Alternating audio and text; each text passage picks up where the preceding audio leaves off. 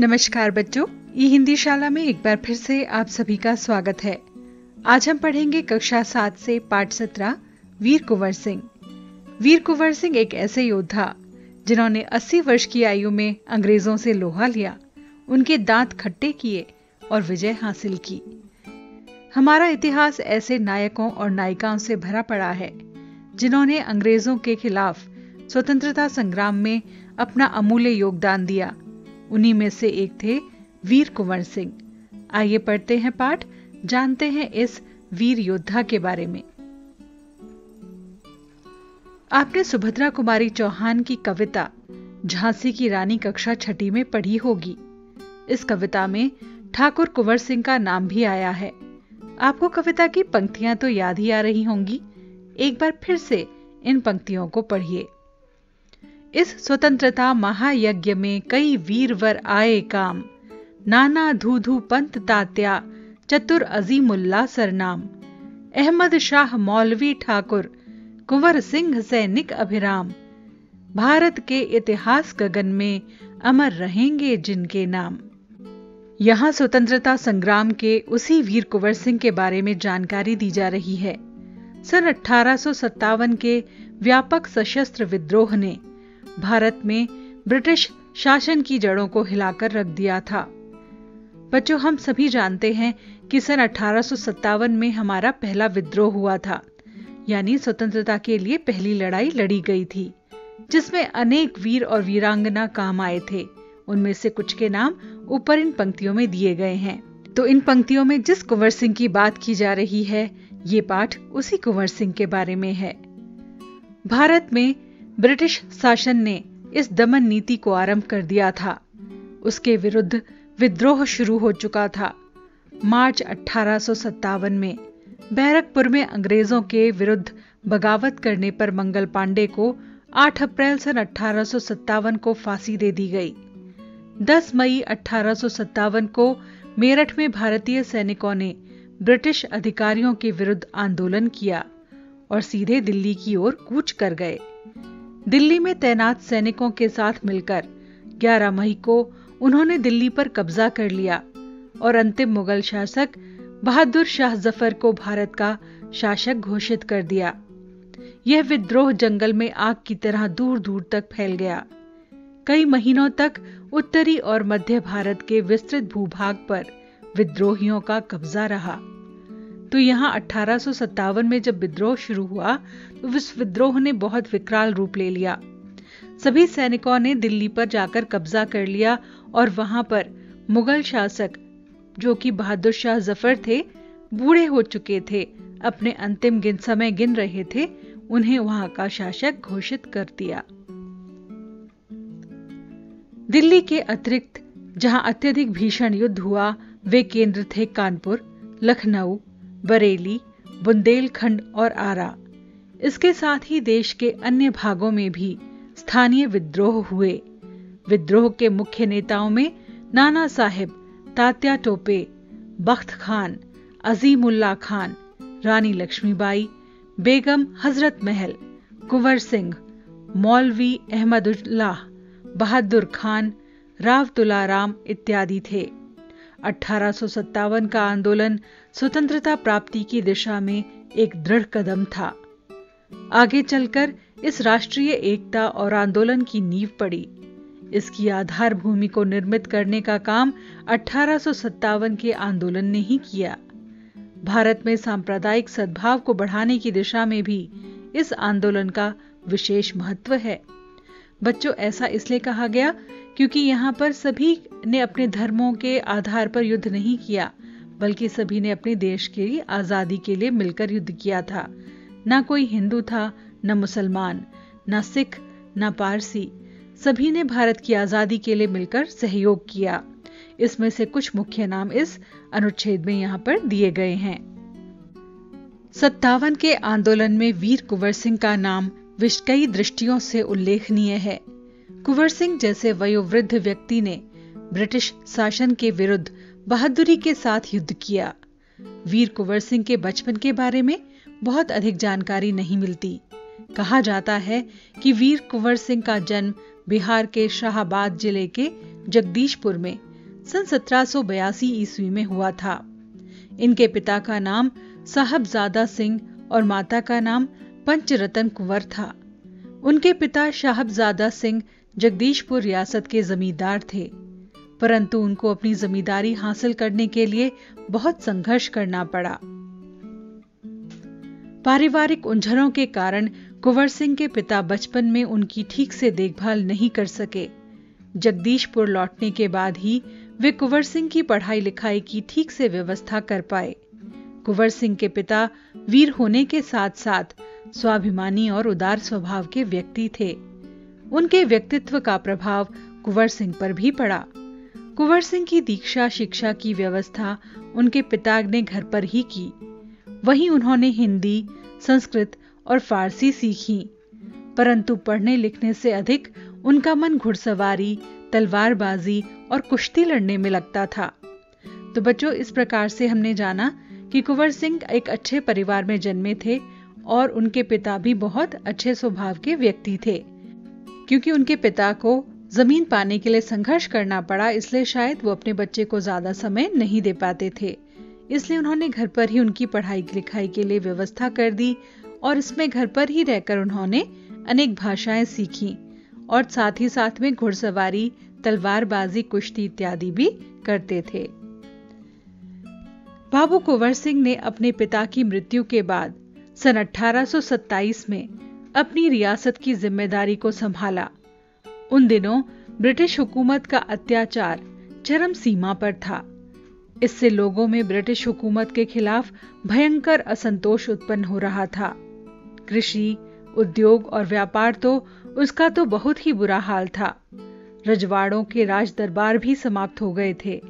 भारतीयों को अपने ही देश में महत्वपूर्ण और ऊँची नौकरियों से वंचित कर दिया जाता था। इससे ब्रिटिश सत्ता के विरुद्ध देशव्यापी संघर्ष की स्थिति बन गई।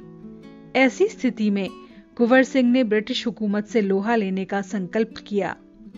यानी सन अठारह से पहले 1827 तक आते आते ब्रिटिश हुकूमत ने बहुत ज़्यादा अत्याचार करने आरंभ कर दिए थे, जिसके खिलाफ अब विद्रोह करने का समय आ चुका था। तो ऐसे में कुंवर सिंह ने ये निश्चय कर लिया कि वो इस शासन के खिलाफ अपनी आवाज़ उठाएँगे। जगदीशपुर के जंगलों में बसुरिया बाबा नाम के एक सिद्ध संत रहा करते थे। उन्होंने ही कुंवर सिंह में देशभक्ति और स्वाधीनता की भावना को उत्पन्न किया। उन्होंने बनारस, मथुरा, कानपुर और लखनऊ आदि स्थानों पर जाकर विद्रोह की सक्रिय योजनाएँ बनाई। वे सन 1845 से लेकर 1846 तक काफ़ी सक्रिय रहे। गुप्त ढंग से ब्रिटिश हुकूमत के खिलाफ विद्रोह की योजना बनाते रहे। उन्होंने बिहार के प्रसिद्ध सोनपुर मेले को अपनी गुप्त बैठकों की योजना के लिए चुना। सोनपुर के मेले को एशिया का सबसे बड़ा पशु मेला माना जाता है। यह मेला कार्तिक पूर्णिमा के अवसर पर लगता है। यह हाथियों के क्रय विक्रय के लिए भी विख्यात है। इसी ऐतिहासिक मेले में उन दिनों स्वाधीनता के लिए लोग एकत्रित होकर क्रांति के बारे में योजना बनाते थे। तो बच्चों, कुंवर सिंह के गुरु थे बसुरिया बाबा, जिनके साथ मिलकर वो अंग्रेज़ों के खिलाफ योजनाएँ बनाते थे और इसके उन्होंने एक गुप्त बैठक के लिए जगह चुनी थी सोनपुर का मेला। सोनपुर का मेला आज भी बड़ा प्रसिद्ध है। ये एशिया का सबसे बड़ा पशु मेला है। तो यहाँ पर वो आया करते और लोगों की भीड़ में घुल मिल जाया करते थे, ताकि अंग्रेज़ उन्हें पहचान ना सके। तो ये उनकी गुप्त बैठकों के लिए सबसे अच्छी जगह थी। 25 जुलाई सन अठारह सौ सत्तावन को दानापुर की सैनिक टुकड़ी ने विद्रोह कर दिया और सैनिक सोन नदी को पार करके आरा की ओर बढ़ चले। कुंवर सिंह से उनका संपर्क पहले से ही था। इस मुक्ति वाहिनी के सभी बागी सैनिकों ने कुंवर सिंह का जय घोष करते हुए आरा पहुंचकर जेल की सलाखें तोड़ दी। और कैदियों को आज़ाद कर दिया। 27 जुलाई सन अठारह को कुंवर सिंह ने आरा पर विजय प्राप्त की। सिपाहियों ने उन्हें फौजी सलामी दी।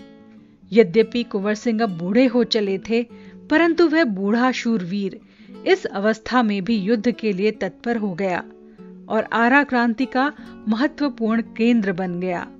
तो इस प्रकार से कुंवर सिंह ने सैनिकों का बहुत सफलतापूर्वक नेतृत्व किया विजय प्राप्त की, कैदियों को आज़ाद कराया और साथ ही साथ में इतनी बड़ी आयु में, यानी इतने बूढ़े होने पर भी युद्ध के लिए वो तैयार हो गए ताकि वो अंग्रेज़ों के खिलाफ अपनी लड़ाई जारी रख सकें। दानापुर और आरा की इस लड़ाई की ज्वाला बिहार में सर्वत्र व्याप्त हो गई थी, लेकिन देशी सैनिकों में अनुशासन की कमी, स्थानीय जमींदारों का अंग्रेज़ों के साथ सहयोग करना और आधुनिकतम शस्त्रों की कमी के कारण जगदीशपुर का पतन रोका न जा सका। 13 अगस्त को जगदीशपुर में कुंवर सिंह की सेना अंग्रेज़ों से हार गई। किंतु इससे वीर कुंवर सिंह का आत्मबल टूटा नहीं और वे भावी संग्राम की योजना बनाने के लिए तैयार हो गए। वे क्रांति के अन्य संचालक नेताओं के साथ मिलकर इस आज़ादी की लड़ाई को आगे बढ़ाना चाहते थे। कुंवर सिंह सासाराम से मिर्जापुर होते हुए रीवा, कालपी, कानपुर और लखनऊ तक गए। लखनऊ में शांति नहीं थी, इसलिए बाबू कुंवर सिंह ने आजमगढ़ की ओर प्रस्थान किया। उन्होंने आज़ादी की इस आग को बराबर जलाए रखा। उनकी वीरता की कीर्ति पूरे उत्तर भारत में फैल गई। कुंवर सिंह की इस विजय यात्रा से अंग्रेज़ों के होश उड़ गए। बच्चों कोशिश बहुत की उन्होंने कुंवर सिंह ने, लेकिन उनके साथ जो सैनिक थे, उनमें अनुशासन की कमी थी, और जब कोई डिसिप्लिन न हो तो वहाँ पर तो अराजकता फैलती ही है। साथ ही साथ में जो स्थानीय जमींदार थे, उन्होंने अंग्रेज़ों का साथ दिया और उन्हें सहयोग नहीं दिया। उनके पास ना तो बहुत ज़्यादा शस्त्र थे और ना ही डिसिप्लिन यानी कि अनुशासन था। इसके कारण जगदीशपुर में उन्हें हार का सामना करना पड़ा। जगदीशपुर की हार को भी उन्होंने एक सीख के रूप में लिया और वो आगे की ओर बढ़ चले। नेताओं के साथ मिलकर उन्होंने आज़ादी की लड़ाई के लिए अनेक योजनाएँ बनाई और वो लखनऊ से आगे आजमगढ़ की ओर चल पड़े। उनका नाम दूर दूर तक फैल चुका था और अंग्रेज़ों की नींदें उड़ गई थीं। कई स्थानों के सैनिक और राजा कुंवर सिंह की अधीनता में लड़े। उनकी यह यात्रा आगे बढ़ती रही लोग उसमें शामिल होते चले गए। उनकी अगुवाई में लड़ते रहे। इस प्रकार ग्वालियर, जबलपुर के सैनिक के सहयोग के साथ सफल सैन्य रणनीति का प्रदर्शन करते हुए वो लखनऊ पहुँचे। आजमगढ़ की ओर बढ़ते जाने का उनका उद्देश्य था इलाहाबाद और बनारस पर आक्रमण करके शत्रुओं को पराजित करना और अंततः जगदीशपुर पर अधिकार करना। अंग्रेज़ों और कुंवर सिंह की सेना के बीच घमासान युद्ध हुआ। उन्होंने 22 मार्च सन अठारह को आजमगढ़ पर कब्जा कर लिया। इस प्रकार से वो आगे बढ़ते चले गए, उनके साथ छोटे छोटे राजा भी लड़ते गए। अब सबने मिलकर जब लड़ाई की तो उसका नतीजा ये निकला कि अंग्रेज़ों के साथ जब युद्ध हुआ तो उन्होंने आजमगढ़ को जीत लिया। अंग्रेज़ों ने दोबारा से आजमगढ़ पर हमला किया। कुंवर सिंह ने एक बार फिर से आजमगढ़ में अंग्रेज़ों को हराया। इस प्रकार अंग्रेज़ी सेना को हराकर वीर कुंवर सिंह 23 अप्रैल सन अठारह सौ अट्ठावन को स्वाधीनता की विजय पताका फहराते हुए जगदीशपुर पहुँच गए। किंतु इस बूढ़े शेर को बहुत दिनों तक इस विजय का आनंद लेने का सौभाग्य नहीं मिला। इसी दिन विजय उत्सव मनाते हुए लोगों ने यूनियन जैक उतारकर अपना झंडा फहराया। इसके तीन दिन बाद ही 26 अप्रैल को, यह वीर इस संसार से विदा होकर अपनी अमर कहानी छोड़ गया। स्वाधीनता सेनानी वीर कुंवर सिंह युद्ध कला में पूरी तरह से कुशल थे। छापामार युद्ध करने में उन्हें महारत हासिल थी। कुंवर सिंह के रण कौशल को अंग्रेज़ी सेना नायक समझने में पूरी तरह असमर्थ थे। तो यहाँ पर बताया गया है कि किस प्रकार से उन्होंने अंग्रेज़ों को हराया और उनकी जीत का उत्सव मनाया गया, लेकिन उसके तीन दिन बाद ही उनकी मृत्यु हो गई। उनकी जो युद्ध कला थी, उसे अंग्रेज़ समझ नहीं पाते थे कि इतनी बूढ़ी अवस्था में भी किस प्रकार से वो युद्ध करके जीत जाते हैं। ये उनके लिए एक पहेली बना हुआ था। दुश्मन को उनके सामने से या तो भागना पड़ता था या फिर कट मरना पड़ता था। अठारह के स्वतंत्रता संग्राम में उन्होंने तलवार की धार से अंग्रेज़ी सेना को मौत के घाट उतारा। उसकी चमक आज भी भारतीय इतिहास के पृष्ठों पर अंकित है। उनकी बहादुरी के बारे में अनेक किस्से प्रचलित हैं। कहा जाता है, एक बार वीर कुंवर सिंह को अपनी सेना के साथ गंगा पार करनी थी। अंग्रेज़ी सेना निरंतर उनका पीछा कर रही थी, पर कुंवर सिंह भी कम चतुर नहीं थे। उन्होंने अफवाह फैला दी कि वो अपनी सेना को बलिया के पास हाथियों पर चढ़कर पार करेंगे। अंग्रेज़ सेनापति डगलस बहुत बड़ी सेना लेकर बलिया के निकट गंगा के तट पर जा पहुँचा और कुंवर सिंह की प्रतीक्षा करने लगा। कुंवर सिंह ने बलिया से सात मील दूर शिवराजपुर नामक स्थान पर अपनी सेना को नावों से गंगा पार करा दी। जब डगलस को इस घटना की पूरी सूचना मिली तो वह भागते हुए शिवराजपुर पहुँचा परंतु कुंवर सिंह की तो पूरी सेना गंगा पार कर चुकी थी। तो उनकी जो वीरता है, बहादुरी है, उसके किस्से आज भी सुनाए जाते हैं। उनमें से एक किस्सा ये गंगा से सेना पार करने का है। एक अंतिम नाव रह गई थी और कुंवर सिंह उसी पर सवार थे। अंग्रेज़ सेनापति डगलस को अच्छा मौका मिल गया। उसने गोलियाँ बरसानी आरंभ कर दी। तब वीर कुंवर सिंह के बाएँ हाथ की कलाई को भेदते हुए एक गोली निकल गई। कुंवर सिंह को लगा कि अब हाथ तो बेकार हो ही गया है और गोली का जहर भी फैलेगा। उसी क्षण उन्होंने गंगा मैया की ओर भावपूर्ण नेत्रों से देखा और अपने बाएँ हाथ को काटकर गंगा मैया को समर्पित कर दिया।